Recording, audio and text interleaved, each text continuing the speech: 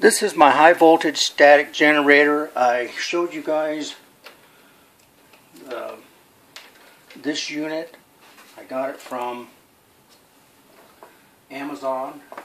And if you go to Amazon and you can put in the word S O S O O high voltage uh, transformer, it'll come up on uh, Amazon and it's $8.95. If you have Prime, that'll be two day free shipping. And so once you uh, once you get your power supply hooked up, as you can see, I have a black wire. This is my ground, and it's just soldered to this metal plate. And then I have another plate over here, and then I have it hooked up to the positive, the red wire. Now I used uh, three quarter inch pieces of wood. It's about two centimeters, and so that I can slide these petri dishes in. The petri dishes have different seeds in there, starting with onion, hatch green chili, sweet corn, uh, cherry tomatoes, uh, bell pepper, and beefsteak tomatoes. And the water I used has a little bit of hydrogen peroxide in it. it. They say it helps the seeds to germinate a little better. So I'll have a control batch of the same seeds from the same package. Those will be set aside and I'll let them grow naturally. And then we'll have these with a high voltage generator to see well, what happens. See, see if we can see a change. And so it's very simple to do this, but it's really important that you get the polarities correct. And so I used a very weak AAA battery because the AAA battery um, is one and a half volt. And this transformer will go up as high as 400,000 volts, 400 kilovolts.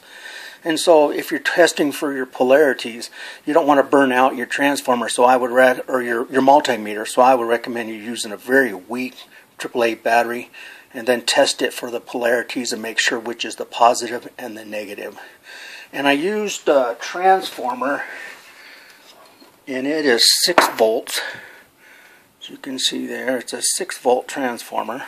And then I also had to determine which was the positive and negative on that so I can hook it up to my transformer. Now, you can get one of these little fly swatters from Harbor Freight. They're $3.99, maybe $4.99.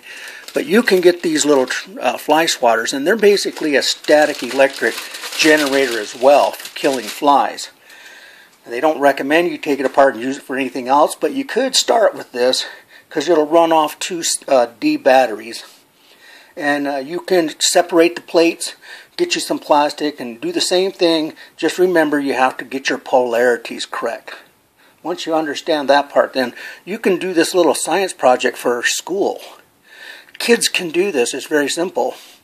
Where the 400,000 volt one can really, really hurt you. You got to be careful with that. But if you set it up correctly and put it in a safe place where you're not going to have access to anyone touching it, you should be okay. Whereas the fly swatter, I think they're between 40 and 60, uh, 40 to 60,000 volts. It'll hurt you. It'll, it'll give you a nice little bite, but it's not going to kill you. So that's a good cheap way to get started with just that fly swatter for you know four or five dollars. I ordered these Petri dishes online. You get 20 of them for I think $11. And but you know you can build one of these and put it together yourself and it's going to take a few weeks for the seeds to all get sprouted and then I'm going to plant them out. Then I'll do another little video as a follow-up to see what kind of changes as these plants grow and see if we can duplicate that Ebner effect. And if you haven't uh, checked out what the Ebner effect is, you can go on Google or YouTube and watch videos. They are in German, some of them, so but there are some guys on there like Synergy 7. He explained a little bit about the Ebner effect on one of his videos. So there are some English videos you can watch to learn about the Ebner effect. And I'll tell you, corn normally grows one or two to three ears per stalk and they're getting up as high as 12 ears per stalk if they put them in this high field static generator. And they've done this with also trout. Uh, they had scientists come in and checked out what kind of trout it was because it ended up being three times bigger than the parent. And so when they brought in the scientists, they had, uh, had told them that that trout, specific, uh, uh that specific kind of trout, had been extinct for 130 years. So those are some of the things that you're going to learn on.